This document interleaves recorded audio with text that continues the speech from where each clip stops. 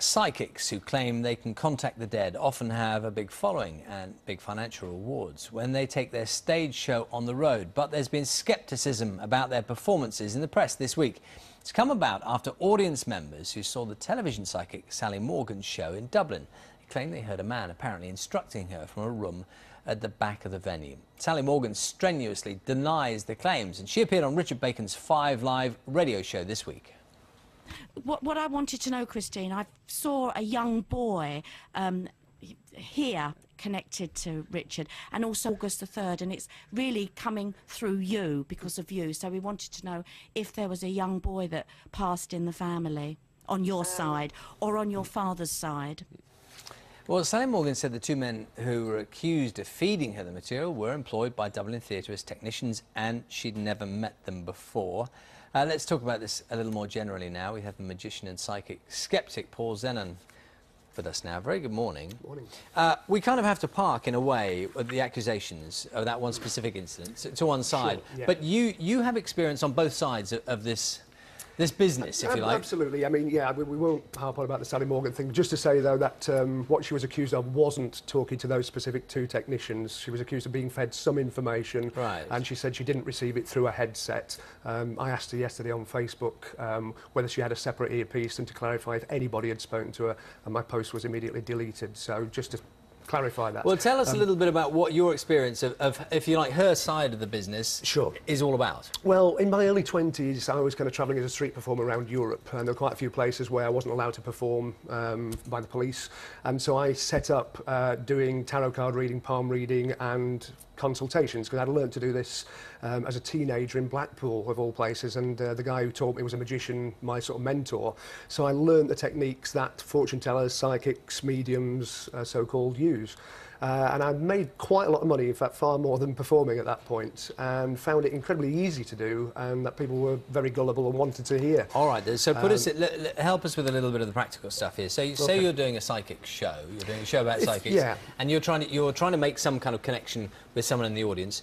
Give me an idea of a trick that you, you've used. Okay, well, the, the, you know, on a big theatre show, what you do is what's called pre-show work. And in its most basic form, you would have people dotted around in the foyer overhearing people's conversations on the way in. So you get information, everybody chats to, you know, about, to each other about what they want to hear, why they're there. So you just pick up information from your confederates in the audience. A more elaborate version, and these days it's so easy with the internet and things like Facebook, is you do research on the town you're in and the people that bought the tickets. When you buy a ticket, you're giving your name and address and credit card details. Um, you know, there's a certain psychic we won't mention who's got up to 20,000 friends on Facebook, and so all, all they would need to do is put in the town they're performing in. Those people will be in the audience. They've got their entire wall post to find out specific details. And am I right in thinking as well? That, I mean, just in terms, assuming you didn't have that information, which you might well have, you re almost read a person, and Absolutely, from that you yeah. can you can sort of, you know a path to follow. That's right. It's called cold reading, and basically what you do, you know, when if someone walks in a room, you immediately make some sort of subconscious assumption about them. You know, whether they're working class or middle class, based on what they're uh, wearing, what they're wearing, uh, whether they've got dirty fingernails, their hairstyle, tattoos, initials on a necklace, all that kind of so thing. How does that help you um, with that process of? Be because you can kind of narrow down what kind of thing that person might be interested in and what their background might be. It's actually more though to, to do with reading body language. I mean, if you're in a theatre of 2,000 people, and you'll see many mediums do this, I've got an S, a Stephen, a Susan, Samantha, and you'll see someone nudge someone, and then you start doing what's called fishing, uh, which is basically just honing in on what they want to hear, or you know what they expect you to say. So you're kind of looking, so you chuck something out, yeah. and then look for reactions, and Absolutely. then and then home in on those people who. That's right, yeah. And so a combination of that and the pre-show work. I mean, in the old days, I mean, this is going, been going on for 150 years. Um, in the old days, they'd even go as far as looking around local cemeteries for newly dug graves and getting names. Uh, more recent times, they look on the electoral register so that the people at the show, they, they've got specific names, they've got addresses.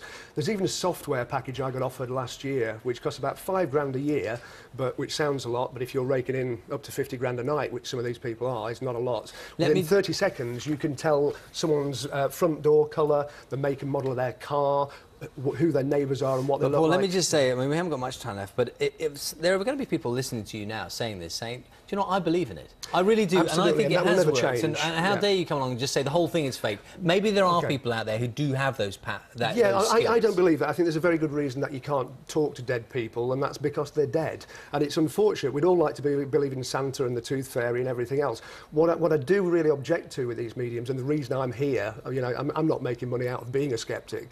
I mean, the reason I'm here is because I find it disgusting that people are preying on people when they're at the most vulnerable, which is basically bereaved people, people with terminal illnesses, people that have lost children. I mean, there are people that stand on stage and mimic the voices of dead children to their parents and make money out of that.